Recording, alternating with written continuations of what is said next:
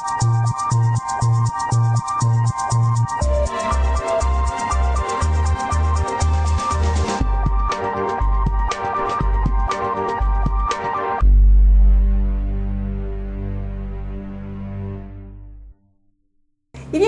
emprendedoresTV.pe, tu canal por internet, estamos en nuestra secuencia arroba tecnología. Hoy me acompaña Susan Inga y es consultora de Neo Consulting y nos viene a hablar de un tema súper importante. Cómo mejorar el posicionamiento de nuestra web en los buscadores y también cómo lograr que nuestra página tenga visibilidad y recordación. Aspectos importantes si queremos lograr todos nuestros objetivos. ¿Qué tal Susan? Bienvenida, ¿cómo estás? ¿Qué tal? Buenos días. Cuéntanos, ¿qué es esto del SEO? El SEO, Search Engine Optimization, es todo el trabajo que se realiza para lograr que un sitio web eh, ocupe los primeros lugares del ranking de búsquedas de un buscador, como en este caso es Google, que es el buscador utilizado por el 98% de personas aquí en Perú. ¿Y cómo logramos esto? Eh, para lograr esto, en realidad hay que trabajar en muchos niveles de un sitio web, ¿no? Que es parte de una estrategia. Exacto, es un trabajo estratégico en realidad. Tiene un aspecto estratégico y, aspectos tácticos, ¿no? Eh, como te mencionaba, hay que trabajar en muchos niveles del sitio, que van desde la parte técnica, nivel del código, ¿no? ver que esté limpio, que sea entendible por los motores de búsqueda, a nivel de contenido, ¿no? ver que una página tenga eh, un contenido rico, que le brinde al usuario una experiencia valiosa, que, tenga información que realmente le resulte relevante, que sea usable, que sea amigable para las personas, que puedan encontrar fácilmente lo que buscan dentro del sitio. Eh, y también eh, es mucho de trabajo de relaciones públicas, por decirlo de alguna manera, porque el contenido que está muy vinculado, muy compartido en redes sociales, como en Twitter, Facebook, Google ⁇ también va a ser beneficiado y también va a tener mayor probabilidad de ocupar los lugares más importantes de un, ranking de búsquedas, ¿no? Así como las páginas que están, que están siendo citadas o enlazadas de otros sitios web que tienen que ver con el negocio. Perfecto. Entonces, ¿qué hay que hacer? ¿Qué pasos hay que seguir dentro como parte de esa estrategia? Bueno, como parte de la estrategia, lo primero que hay que hacer es investigar la situación actual del sitio, en caso de que sea un sitio web ya creado. ¿no? Porque si es una página web que recién va a construirse, lo que hay que investigar es qué está haciendo la competencia, qué están haciendo otros sitios web de referencia, cómo han estructurado sus páginas, eh, qué páginas son similares a la mía. Una vez que ya tenga toda esta información, también tengo que buscar, tengo que investigar cómo es que las personas buscan eh, lo que yo ofrezco, porque yo puedo pensar que las personas buscan mi marca, pero no necesariamente es así. También buscan los productos, los servicios, eh, cosas relacionadas y utilizan muchas combinaciones de palabras distintas. Claro, porque para comenzar, de repente tu marca no es todavía conocida. Exacto. y además yo puedo creer que se utiliza mucho un término como carros, por ejemplo, y si realizo esta investigación me puedo dar cuenta que las personas en realidad buscan más la palabra autos, entonces tengo que eh, orientar al menos las secciones principales de mi página a ciertos términos. perfecto.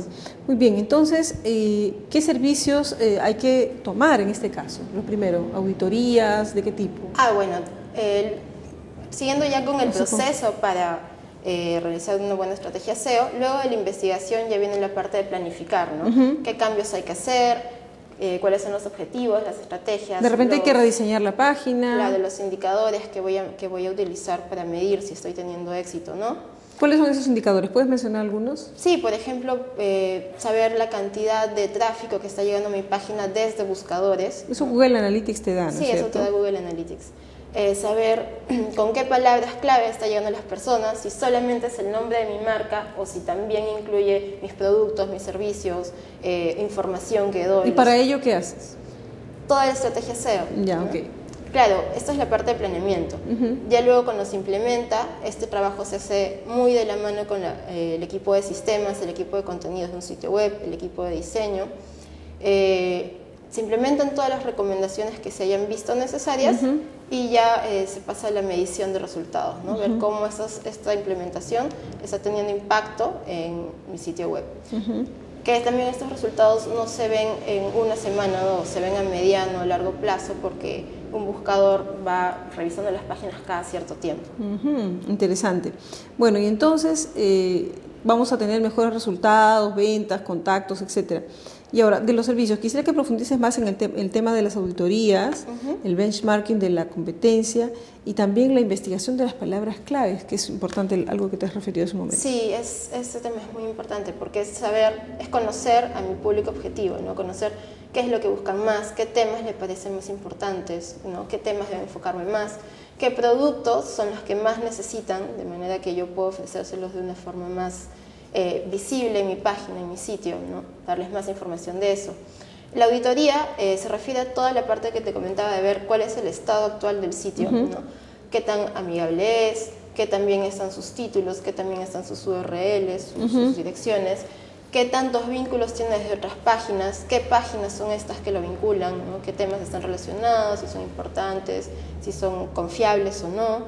Eh, también ver qué tanta señal social está teniendo mi página, qué usuarios son los que lo están tuiteando, que lo están compartiendo. Sí. Y la parte de benchmarking es, lo, es esto de ver cómo está mi competencia, qué están haciendo, cómo están rankeando, ¿no? con qué términos están rankeando, si están posicionándose mejor con términos que son muy valiosos para mi objetivo de negocio o si están dejando de lado este trabajo. Así es. Ahora, ¿qué es el SEO on page y el SEO off page?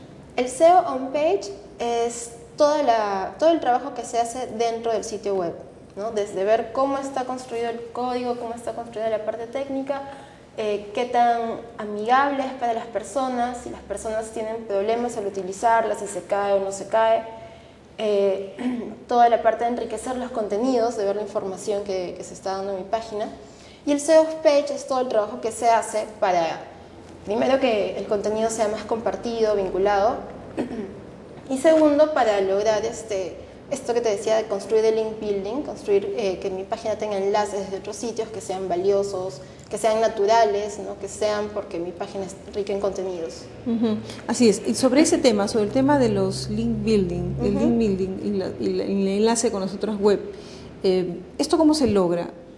¿Esto se compra, se establecen nexos con las empresas? Me buscan a mí porque tengo un buen contenido. En realidad lo, más importante, lo primero es lograr que mi contenido sea compartido porque es rico, ¿no? porque es valioso. Lo segundo también es un trabajo que se puede hacer eh, a través de relaciones públicas, ¿no? Son, es una serie de estrategias que se hacen. ¿no? Si tengo un contenido bueno, va a ser viralizable, ¿no? va a ser compartido, y también puedo establecer concursos, promociones para hacer que, provoque, haga que la gente le provoque compartirlo. También se puede comprar enlaces de otros sitios, ¿no? Mm. Pero esta práctica está penalizada por los buscadores. Es bueno que pongas mucho hincapié en eso, por favor. Lo que sucede es que anteriormente los buscadores tenían eh, eh, estas... Eh, los buscadores tomaban mucha consideración el número de links que tenía un sitio ¿no? desde otras páginas. Pero por lo mismo se convirtió muy sencillo en yo, ok, voy a cierto sitio web, compro mil enlaces de páginas completamente distintas y ya, mi página posiciona. Pero actualmente hay algoritmos en el buscador que identifican que estos vínculos no son naturales, ¿no? porque te los ponen en páginas completamente fuera de, lo que tu sitio web hace, ¿no? desde páginas de pornografía, páginas de casinos, universidades, cosas o sea, que no tienen que ver necesariamente con tu objetivo de negocio. Eh, y esta práctica está siendo penalizada por eso. ¿Qué, ¿Cómo se penaliza esta práctica? Lo que sucede es que si el buscador detecta que tienes esta serie de enlaces antinaturales, lo que hace es inmediatamente pasar de tu página a los últimos lugares del ranking. ¿Qué? Es un buen castigo, francamente. En realidad sí. Eh, como te decía, se volvió muy común hacer esto, así como por ejemplo eh, llenar el sitio web de la misma palabra, la misma palabra para lograr que, posicione con esa, esa práctica también está penalizada.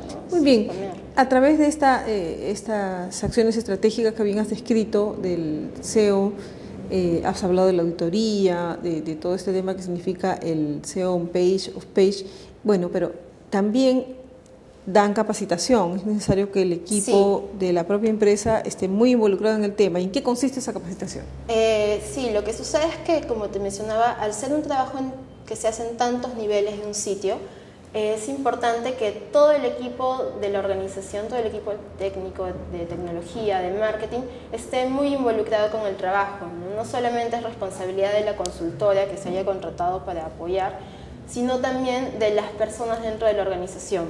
Entonces lo que se hace es capacitarlas en temas primero básicos del SEO, qué es, para qué sirve, por qué es importante, luego ya cómo se hace, qué acciones son necesarias eh, realizar, cómo mejorar el tema de la creación de contenidos, cómo generar eh, link building natural. ¿no? Perfecto, muy bien.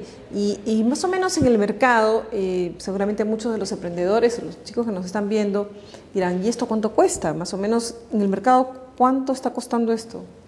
En realidad el costo varía dependiendo de la complejidad del proyecto, porque dependiendo de esa complejidad hay un número de horas que debe, que debe emplearse. Sí.